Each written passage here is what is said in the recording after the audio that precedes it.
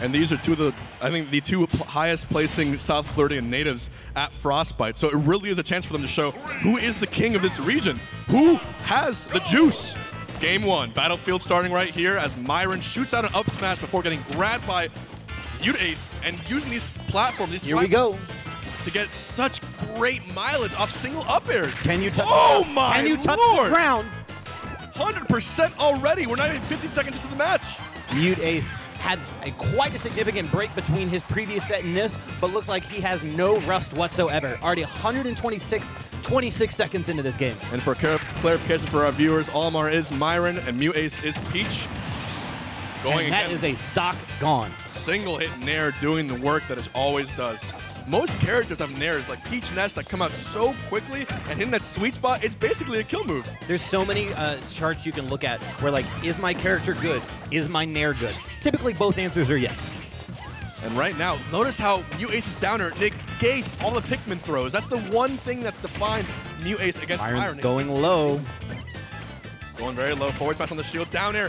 Oh, float canceling into a forward air, basically using a, a modified tomahawk. I love the creativity from Mute Ace. Absolutely dominant performance so far. We see Myran finally get back to the ground, finally get a little bit of advantage, but you just see him jump out. How does Olimar deal with the aerial movement? Very carefully, I would assume. What I think is going to be the key here is making sure you get the Purple Pikmin and throwing them at Peach because she's forced to shield that. Oh, Pikmin! He's got no Pikmin! dude, a forward smash? The hard call out from Mute Ace there, and now already on the last stock of Myran, attempting to get that golden split here on game one. He's, he's got a three stock lead. You know, people Uh-oh. have been saying that right, that Olimar is an interchange to watch, but I've been loving Myran's comebacks. I've been loving his way of his adapting. It's really, really been a pleasure to watch. But this game one is not looking in his favor. Blue. Great single Gone. pluck blue RNG for the grab. He actually gambled it all on blue and it worked It's out. It's gonna be that cycle that he knows so well. Red, yellow into blue, and he knows right when he can grab. He can immediately act out of it into the grab. Oh, is it a cycle? I thought Yes. it was RNG. No, no, no. That was, uh, it was Oh, I believe it was a brawl that was RNG. Oh. Since Smash 4, it goes in a set unit. That- Red, yellow, blue, white, purple, I believe. That's a that's a really cool modification because then it's it sort of allows you to have those like clutch, really quick reactions like we just saw there. And that's the mentality of it. You look at Olimar from a paper surface and you're like, oh, this character's up smash. But really, you have to know when you're going to be able to pull specific items, when you're going to pull, you know, which one's going to be useful up on the ledge there. Wow, yeah, that's actually what's going to cover both options. Myran, oh, wait a second. Three stock comeback again? I mean, the Myran special. If anyone's doing it, it's uh, South Florida's very own Premier Olimar. Up smash, up air. Damn. Okay, a white Pikmin getting a 30, 39. Not full damage, but it's still very, very helpful here. Oh, I love gonna- the quick back air to Yeah. knock out. Oh, almost knock out the purple. Excuse me. It's gonna clank, but hold on. One back air at a time. Who's gonna take this first match? It's actually quite close. Mute Ace has my kill percent, but it only takes a few more Pikmin hits for uh, Myran to be in the exact same situation. Gonna have Toad send him away. Oh, that back air. So reliable. Such high priority on that. It's winter semis all over again. Time and time again, we've seen MuteAce rely on that short hop back air to close out these stocks. Myran getting some water, trying to water his Pikmin so they can grow big and strong for this game too. Mute Ace, of course, was in winners finals against Salem. Salem was able to best him there. He wants the run back. But He you can see it in his eyes how much he wants this run back, the aggression in his play, the focus. This is what you need to be in this hot seat right now. You need to not tilt over anything. Even if you get hit by what some people would call jank or an unfair mechanic, it doesn't matter. The, the devs are not here to give you your game. You have to play the game that they made for you. And for those at home, this is effectively a $2,000 money match right now. Base. Third place, 1K. Second place guaranteed, 3K. It is all the pressure right now built into losers finals. Yeah, if you win this match, you can pay your mortgage pretty much. Going now to town and city. Plucking three Pikmin at the start, always red, yellow, and blue. It's creative to see how uh, you know Myran used that you know sort of three, two, one, go burst. He throws the red one. Whoa, whoa, whoa! Two big hits right here. Oh, Peach Bomber, and that's going to be safe on shield too. You see so many nairs come out afterwards. It pushes her further enough back that you can really take advantage of that space. I, I wish you could see MuteAce's controller when he plays Peach. Like the APM is actually out of control. I can see an angle on it right now, and it is wild. All right, we A lot of see the- inputs are required to make these float cancels effective. Myran getting a back throw and a back air, and it will kill. Very impressive. hard commit to the high recovery there from MuteAce.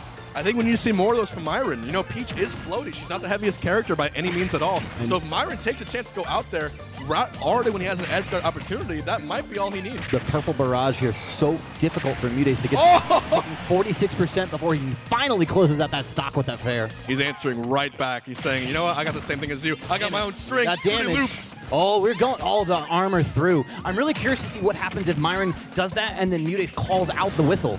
That's true. And I think what Myran just caught on there is dash attack is very reliable against his character. It has multiple hits, and we see so often MuteAce hopping, do float cancel that when he jumps out of shield, that dash attack might catch him or even a back air as Myran takes game two lead. Two for two on those back airs so far. Okay, missing barely that edge guard. Gonna do it again. Third time's the charm. No, not yet. Beautiful DI from Myran, and what do you know? Another back air folder coming. And Wow.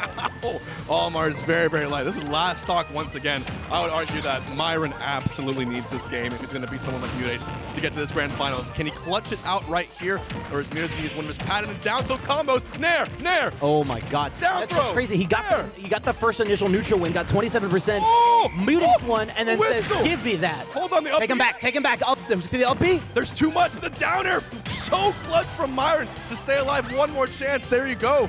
Can he get the grab? He goes to the shield. No.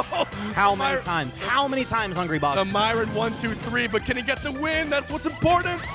Purple getting involved once again. White coming out. and that's going to block a lot of those descending aerials too. Just that horizontal arc. Oh! Bear the crown, enough. Man. Uh, it's, Simply elegant. it's it's just the closing. Myran so confident in getting all these hits, even at high percents, but it's the closer. That forward air MuteAce has used time and time again to close out so many matches. the composure. We talked about it just for a brief second there. Myran gets the first initial win, gets initial combo, 27%. Awesome. I've got stage control. Suddenly MuteAce is back. One down tilt, and you're looking at a 50% deficit, 70% in the blink of an eye. You ready for the hungry prediction? Here we go. This- Will this- this be a 3-0? What do you think? This is gonna go to game five. That's the hungry prediction. Because I've seen Myran in this exact same situation, and I don't know what it is. I think it's the other player wanting it to end sooner. Uh-oh. Big damage here. Myran takes advantage, advantage of, of anxiety. You know what I mean? Tries to hop out of there, get rid of that blue Pikmin, gets called out with the up smash. Now sitting at around death percent. Gotta see how Myran continues this pressure though. Anyone can get a lead. The hard part is keeping it. And just like that, the lead's almost gone. The purple Pikmin saving the day for the upteenth time. Super confident down there. Very even percent right now. They're both throwing out everything they've got for this last game. Well, potentially last game for Myran rather. Oh, Great. gonna get the blue. Going to be a kill immediately. All right. Myran, if he keeps the lead here, if he can tack on about 60%, this match will be his. But Mute Ace is so good at mixing up his floats. It's hard to get those combos on him. Yeah, the empty hop into the grab is such a great option there. We're gonna see the float high, and Whoa, not he quite enough. Fantastic DI. Will he be able to cover the get up? No, the purple Pikmin again blocking the back air. That beautiful up B cancel into Nair to actually eat into Mute Ace's shield, letting him live one step longer, throwing out every Pikmin he's got. Alexander and Charles and whoever their names are. He's making sure that they all go and fight them. 53 right now for Mute Ace. Back here waiting for it. Double purple. Oh! Double purple. The platform changes. He's almost at full rage. This is gonna hurt. Oh, oh God! He actually got the forward air right there. I thought he was gonna up smash. Barely avoiding the turnip.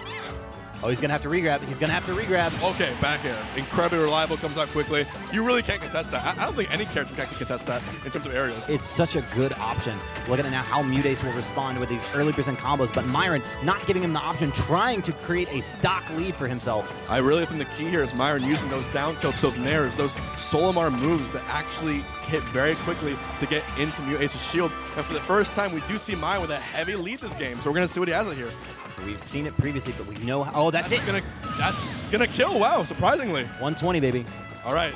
This is this is Myran's game to win, but if Mute Ace lands one more string, gets about 80 and forwarders him, it might be exactly Nair the same situation. So scary. And Nair high, get rid of that Pikmin. Smart. Gotta get rid of pink, or excuse me, the, the white one. You can't take that much damage. Nair on shield. We'll see how he continues here. Gonna go for the up air strings. Still not be able to connect the back air. One hit away is gonna be able to finish this for Mute Ace if he gets him towards the blast zone. We'll see how he goes. Lands with the Nair, but gonna eat a bear out of shield once again. We're waiting right now, going for a forward throw. He has no problem going for the edge opportunity. Meanwhile, Myran actually waiting, air dodging until he gets one more chance to up B. No trump off the ledge. We see the forward smash here creating that separation that he desperately needed. He wants to make sure he closes up the stock. He cannot allow MuteAce to come back and get those low percent combos. Waiting right now, MuteAce at last percent stock. The up B just too low. And we have finally Myran making his own answer, saying you're not going to 3-0 me. I have my own bag of trips for the rest of the set. What a fantastic pressure sequence there for Myran, forcing him to go for just too low unable to recover, and that's going to force now a game four. Will he be able to continue this momentum into a potential game five clinching of this set? Let's see where we go here. Both players remaining stoic and calm the entire time. Going into game four right now. Hello? Like I said, I, my prediction, my prediction was basically a game five comeback but we'll see what happens. MuteAce really, really wants this, but Myran actually mixed it up very well for the rest of that match. 36% up smash into up air. Such high early damage output. Both these characters capable of so much. And the fact now that they go into Pokemon Stadium, MuteAce starting an incredible string, 0 to 70%. Says anything you can do, I can do better, matching that 50 and adding 20 more. Such a good forward to negate those Pikmin. Can he get the falling forward air? He misses the nair. The spike! Get him out. Myran! out. I'm admiring that. My goodness. He's going to be oh stuck off now. stage, though. Can he recover? That nair didn't work that time. Doesn't have the purple Pikmin to intercept these aerials. This is really difficult right now. No Pikmin at all, actually. Good DI to live right there. Still hasn't had a chance to pluck. Gonna get it now. Immediately into that toss, too. Clutch whistle play to get through that nair. He had no Pikmin, but he still had the whistle. And that will kill right there. Two stocks apiece now, but Myran is showing such levels of confidence we haven't seen those first two games.